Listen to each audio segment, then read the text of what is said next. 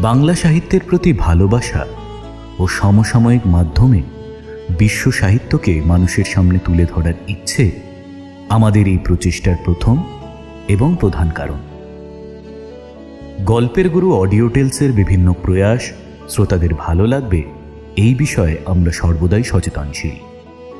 মনোযোগী শ্রোতা যদি অভিব্যক্তি স্বরূপ তাদের ভালো লাগা অন্যদের সাথেও ভাগ করে নেন ও চ্যানেলটির সাথে থাকেন তাহলে আমাদেরও উৎসাহ চ্যানেলটিকে এগিয়ে নিয়ে যেতে সাহায্য করবে।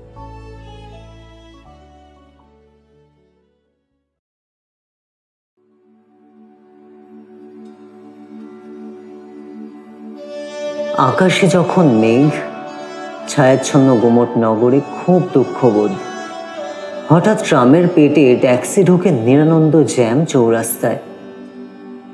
রেস্তোরাঁর পথে পথে মানুষের মুখ কালো। বিরক্ত মুখোশ। সমস্ত কলকাতা জুড়ে ক্রোধ আর ধর্মঘট। শুরু হবে লণ্ডভণ্ড। টেলিফোন পোস্ট অফিসে আগুন জ্বালিয়ে যে যার নিজস্ব হৃদস্পন্দন ও হরতাল জানাবে। আমি ভয়ে কেঁপে উঠি। আমি জানি আমি তৎক্ষণাৎ ছুটে যাই, গিয়ে বলি নীরা তুমি মন খারাপ করে আছো? লক্ষ্মী মেয়ে, একবার চোখে দাও। আয়না দেখার মতো দেখা ও মুখের মঞ্জরি। নবীন জনের মতো কলহাসে একবার বলো দেখি ধাঁধার উত্তর। অমনি আড়াল সরে বৃষ্টি নামে। মানুষেরা সিনেমা ও খেলা দেখতে চলে যায় স্বস্তিময় মুখে। ট্রাফিকের গেট খোলে, সাইকেলের সঙ্গে টেম্পো, মোটরের সঙ্গে রিক্সা মিলেমিশে বাড়ি ফেরে যার যার রাস্তায়। সিগারেট ঠোঁটে চেপে কেউ কেউ বলে ওঠে, বেঁচে থাকা নেহাত মন্দ নয়। সত্যি, নীরার অসুখ হলে কারও কি আর ভালো লাগে? মোটেই নয়। আজকের গল্পটি এই নীরাকে নিয়ে। লেখক শ্রী সুনীল গঙ্গোপাধ্যায় রচিত, আজকে আমাদের গল্পটির নাম নীরার অসুখ। চলুন শুরু করা যাক আজকের গল্প।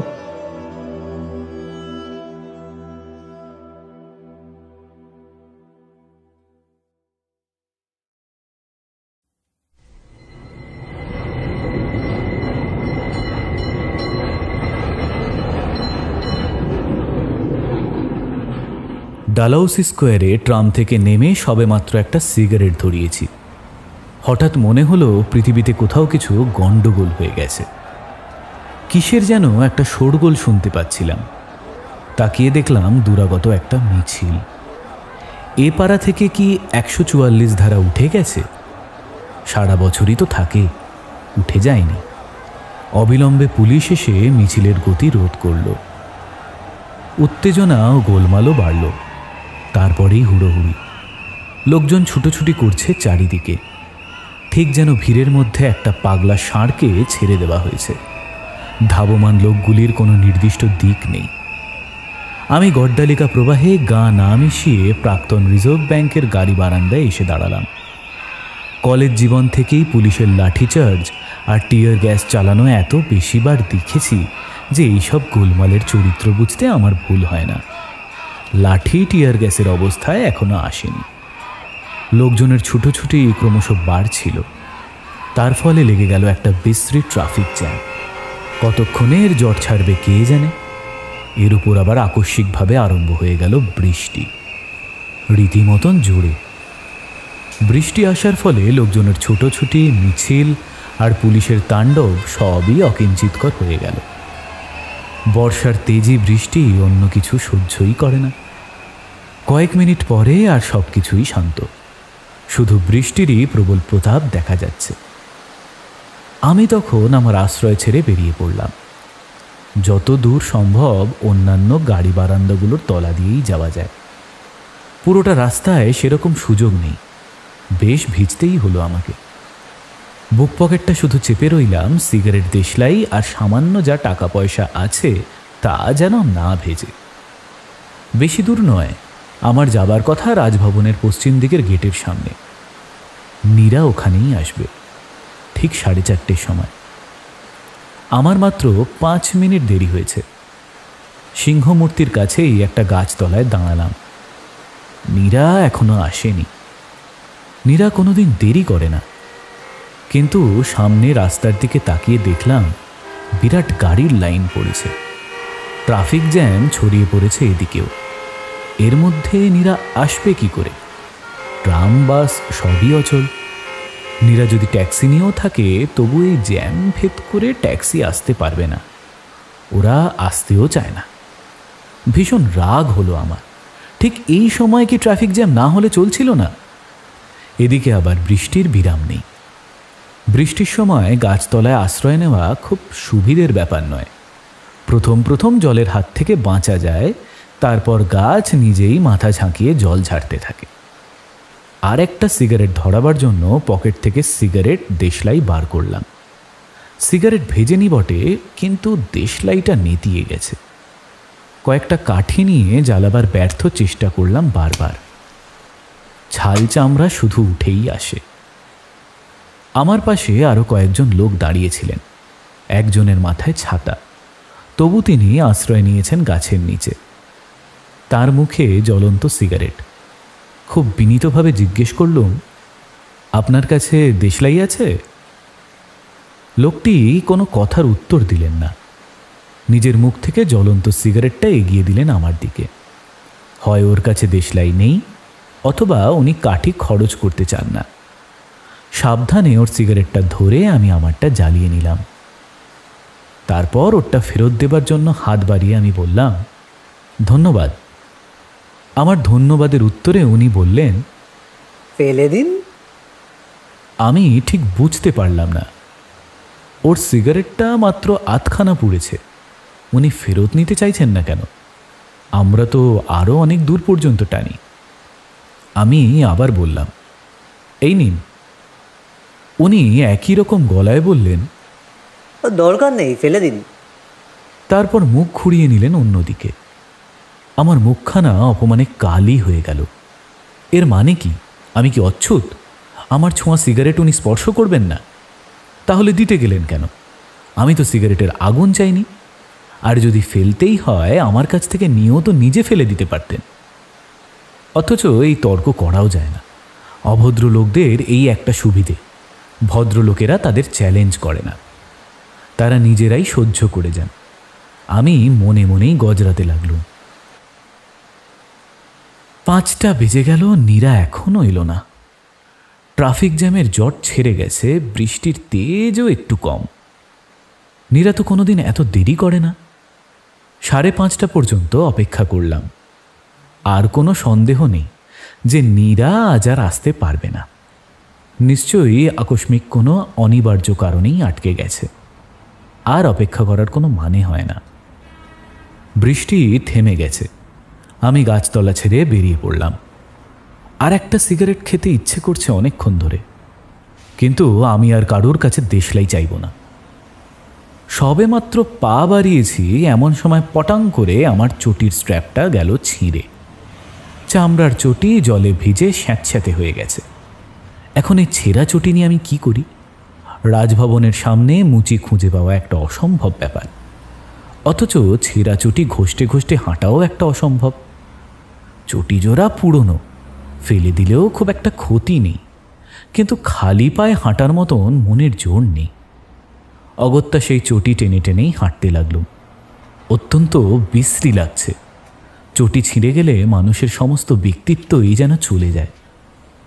খানিকটা এগোতেই কার্জন পার্কের মোড়ের কাছে দড়াম করে জোর একটা শব্দ হলো। চোখ তুলে সেদিকে তাকালাম। না থাকালেই ভালো হতো।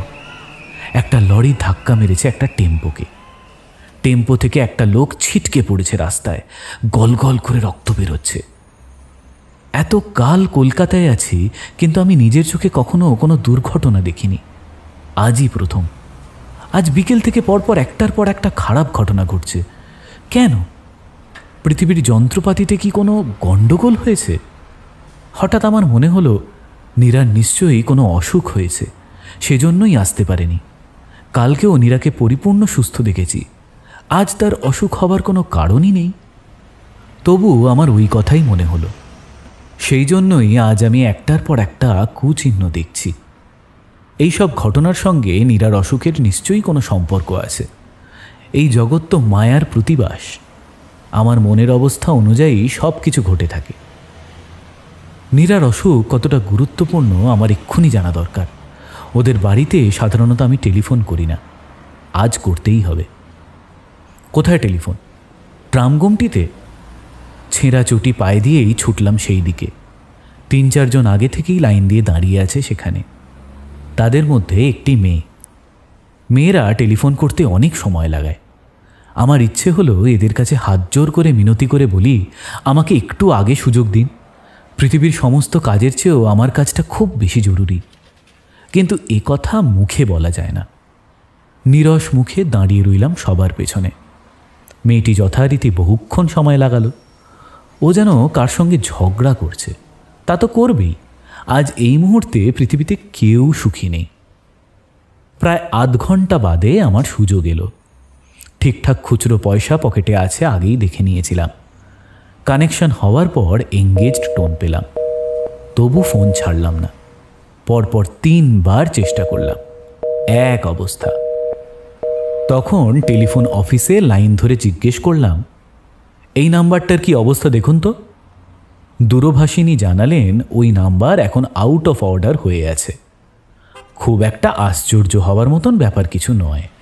আজ বিকেল থেকে পরপর যা ঘটছে, তার সঙ্গে বেশ মিল আছে। এরপর আমি একটা কাজই করতে পারি। পা ঘষ্টে ঘষ্টে চলে এলাম ধর্মতলার মোড়ে। সন্ধ্যের পর কলকাতার রাস্তায় মুচি পাওয়া অসম্ভব। ঈশ্বর এরকম নিয়মই করেছেন। সুতরাং আমি আমার পুরনো চটিজোড়া ফেলে দিয়ে ফুটপাত থেকে একজোড়া রবারের চটি কিনে নিলাম। তারপর মিনিমাস ধরে দ্রুত নীরার বাড়িতে। দরজা খুলল চাকর। কোনো দ্বিধা না করে জিজ্ঞেস করলাম, দিদিমণি আছে? অন্যদিন হলে নীরার বাবার সঙ্গে প্রথমে কথা বলতাম। একটা কোনো জরুরি প্রসঙ্গ বানিয়ে নিতে হতো। আজ আর ওরকম অছিলা খোঁজার কোনো মানে হয় না। চাকরটি বলল দিদিমণি উপরে শুয়ে আছেন। অসুখ করেছে? না এমনি শুয়ে আছেন। খবর দাও। বলো সুনীলবাবু দেখা করতে এসেছেন। চাকরটি ওপরে চলে গেল। আমি বসবার ঘরে দাঁড়িয়ে ছটফট করতে লাগলাম। বসতেও ইচ্ছা করল না। টেবিলে অনেক পত্রপত্রিকা পড়ে আছে ছুঁয়েও দেখলাম না। চাকর একটু পরে এসে বলল দিদিমণির জ্বর হয়েছে। আমার প্রচণ্ড চিৎকার করে বলতে ইচ্ছে করল আমি আগেই বলেছিলাম না? খুব শান্তভাবে বললাম আমি একবার উপরে যাব। দিদিমণির বাবা কিংবা মাকে একটু বলে এসো তো আমার কথা। বলেছি আপনি আপনি আসুন।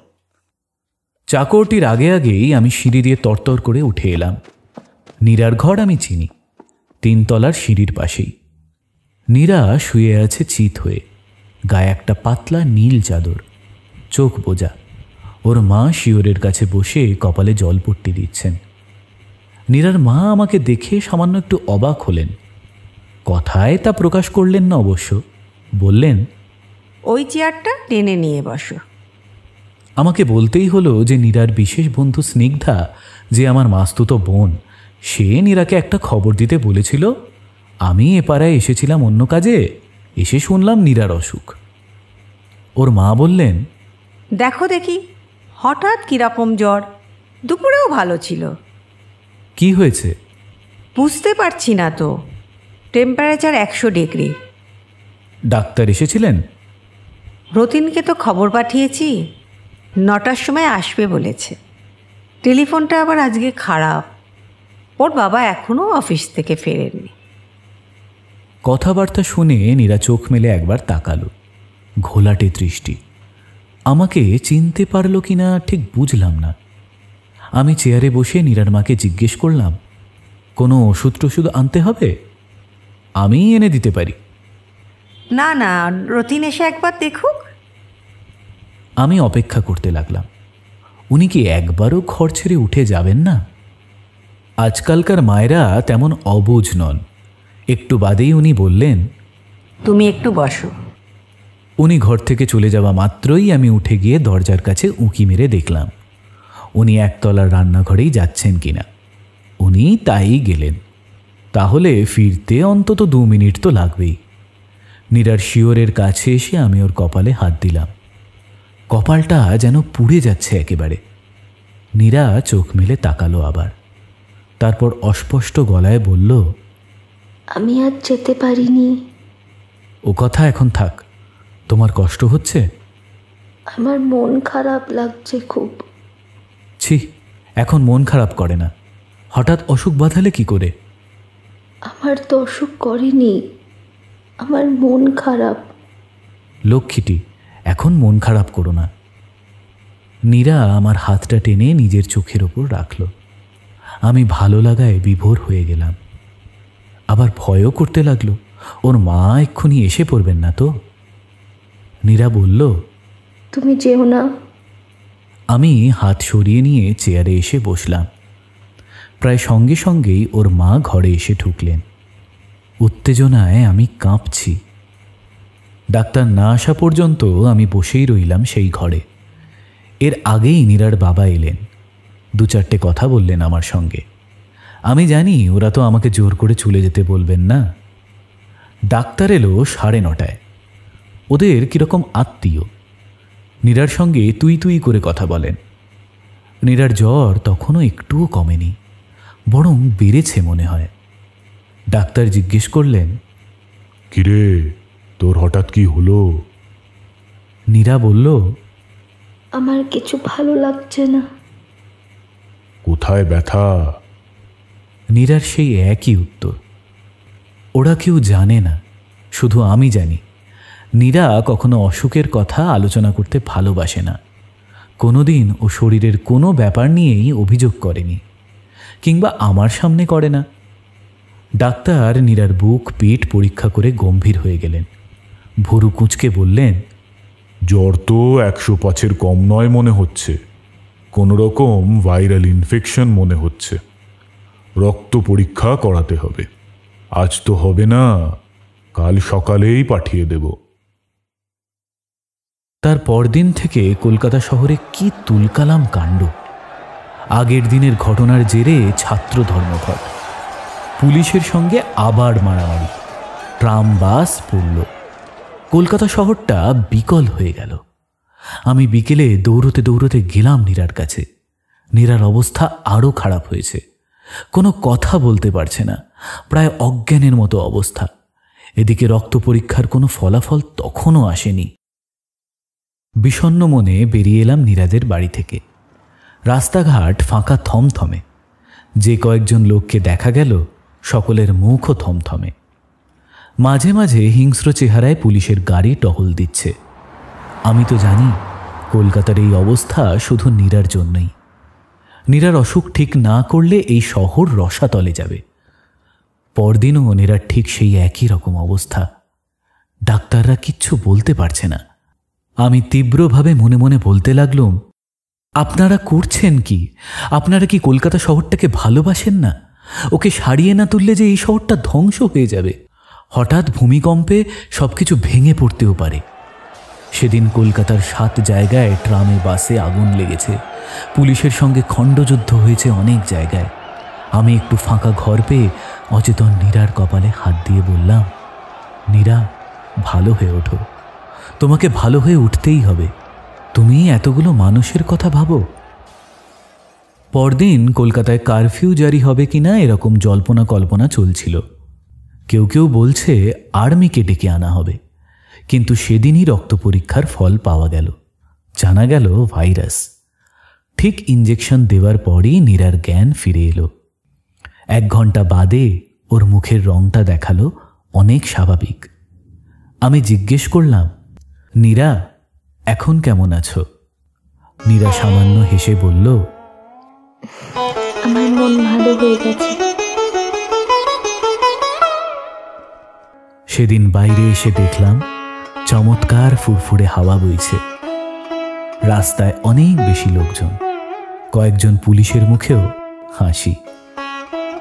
পরদিন সকাল থেকে কলকাতা একেবারে স্বাভাবিক।